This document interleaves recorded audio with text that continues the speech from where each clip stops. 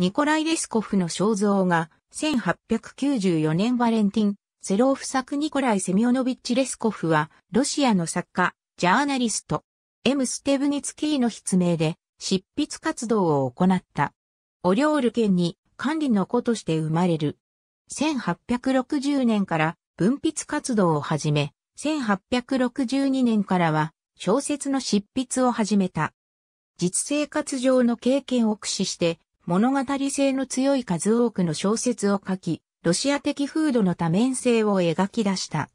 だがジャーナリストとして社会の矛盾を鋭く批判したために、当局からはたびたび目をつけられ、検閲や出版禁止の浮き目にあったりもした。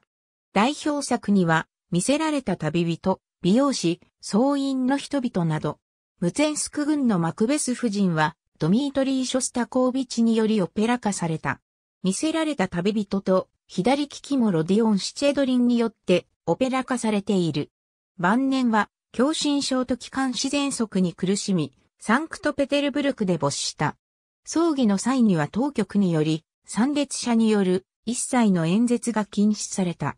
同地のボルフスコエ記念墓地に埋葬されている。